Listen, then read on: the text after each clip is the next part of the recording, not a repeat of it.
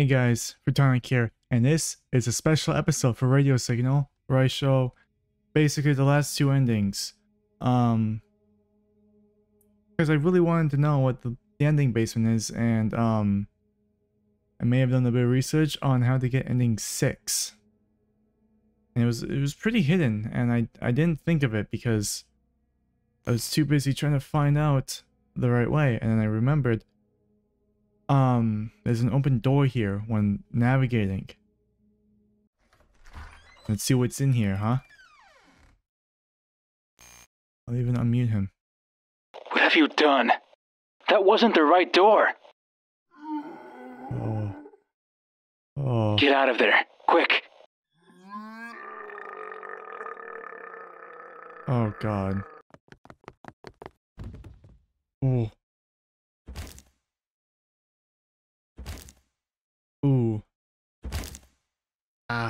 One of the patients caught you, and now they'll tear you apart. I guess this is as far as we go together. It's been a pleasure, friend. I hope the pain doesn't last for much longer. I really hope it doesn't. Oh god. Oh, I don't need to hear that sound again. But that's ending six. With only one more after this. The one I've been ex excited about. But no, I don't want to continue. I don't want to restart because that's past the basement. Hello? Just gonna mute you again and get back to the basement. And here we are. So now, we just have to go down.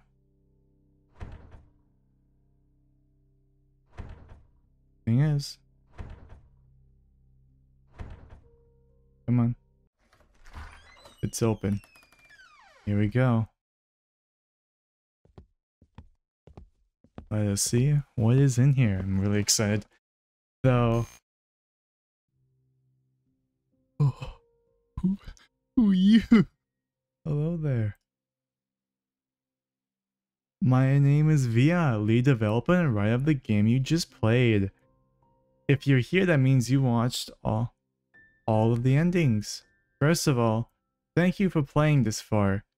This is the last I managed to cram into the game, so after this, you would have seen all the content it has to offer. I'm writing, I'm actually writing this about four hours before my deadline hits, I think. So I'm sorry if it, if it reads a bit awkward.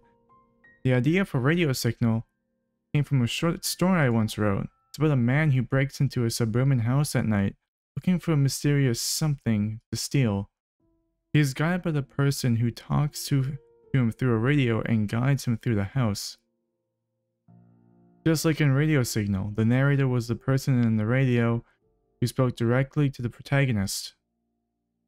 It was an idea that I liked and wanted to expand upon. In fact, the first time I did this was in my first was in my last game, Don't Open Your Eyes, which, if you watched my previous videos, you would have seen, and it's just as good of a story if I say so myself. There was something fun about a story that so told solely through a person or entity talking to another. Anyway, I hope I did this concept justice, and I'd say you did. I really like this game, and the previous one too. The biggest change is that the setting here is a hospital instead of a house.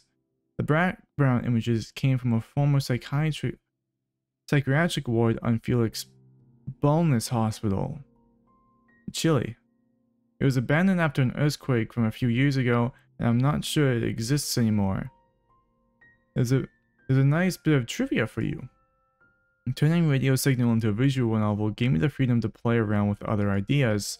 Stuff such as the idea to allow the player and reader to explore the area and not choose whether to obey the voice or not. But truth be told, there was a lot I couldn't do due to time constraints.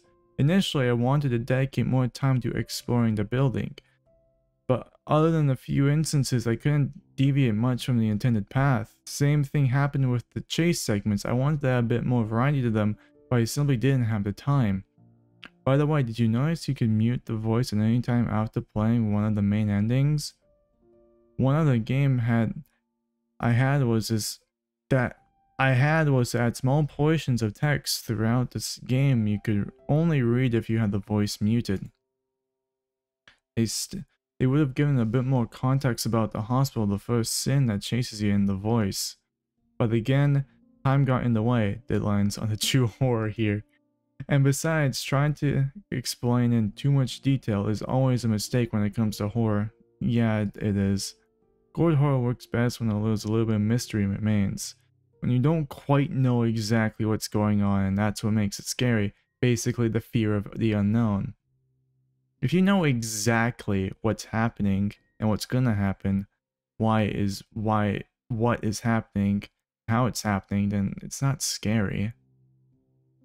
I'm always a bit disappointed when horror films, games, and literature reveal every single detail about the monsters. Like, it's fine to have a lore, but usually when it comes to like detailed lore, you do that after the story.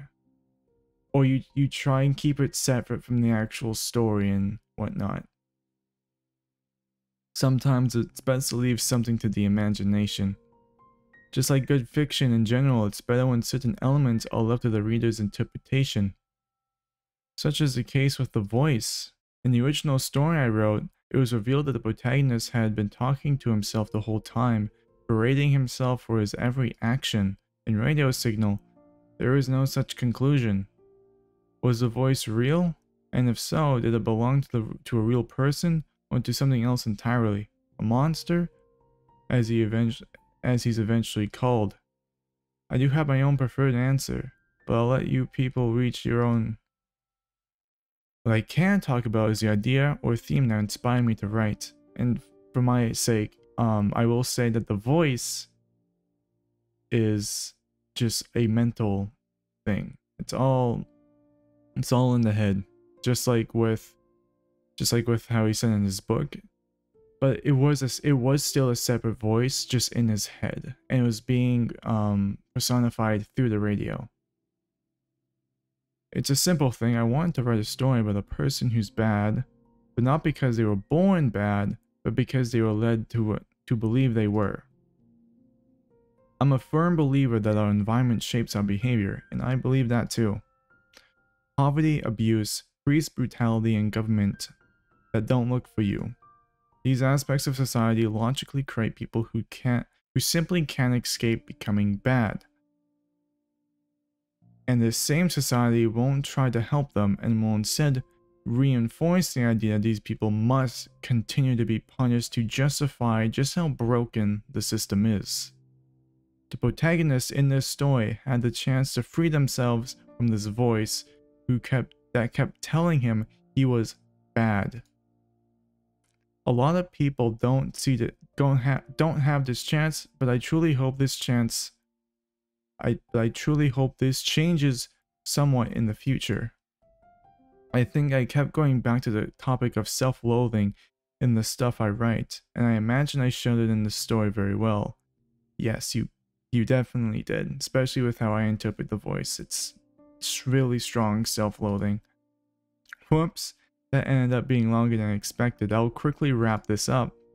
Radio Signal was made in 30 days for the Spooktober um, VN Space Game Jam. Interesting. I got help from various people for the art and voice audio aspects, but I still had to tinker with the GUI and background images a lot by myself. But such is the grind of making these games, and I'll keep it for the time being. I'll keep at it for the time being. I'm planning to release a new horror themed visual novel soon. This one won't be voiced and I'll have a slightly different style, but I hope you enjoy it nonetheless, and I will be sure to check it out when it comes out and be, be on the lookout for that when I post a video about it when he does release it. Follow my Twitter for news on Mada Yada Yada. Thank you for listening to my randles and thank you for playing Radio Signal. Hopefully we see each other again soon. Goodbye. That was really nice. I really like that. This whole game was great. I love that. I love good visual novels. Basement. That's all the endings. And that's it. This is the last video I'll probably make a video signal. But Probably no, I definitely won't. This is definitely the last video I'll make a radio signal. There's nothing else to really do. And thank you guys so much for watching. Um, don't forget to like, subscribe, turn on the bell, and leave a comment. All those things I'll be ever so grateful for and appreciate very much. See you in the next video. Bye bye.